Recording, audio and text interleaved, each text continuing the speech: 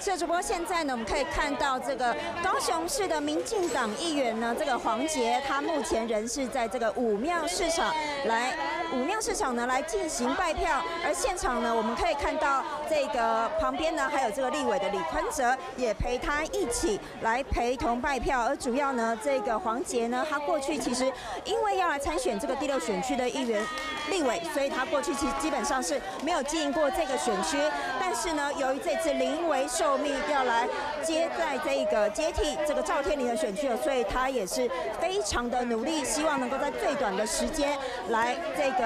争取到最多选民的认同。而我们可以看到他在武庙市场呢这边呢，也是受到这个民众非常热烈的欢迎。由于这个黄杰的高知名度，所以呢，其实哦，目前他其实走到这个选区的各地呢，原则上大家也都认识他。而目前呢，我们可以看到他一整天的行程其实也都很满。一早呢，他有到这个公庙，还有到这个市场来拜票，旁边都有这个在地议员的陪同来帮他安排行程。由于现在距离选战已经剩不到多少天了，所以其实议员黄杰说呢，他自己本身很着急之外，其实另外呢，在地的五位议员，大家也都觉得想赶快帮他安排行程，让更多的人能够认识他，希望呢他能够顺利接下赵天麟选区这一棒，让呢这个选区哦依旧能够以在这个民进党的这个委员来顺利当选。而现在呢，我们可以看到这个武庙市场人非常多，他会持续的来拜票。以上是来自现场的情况，主播。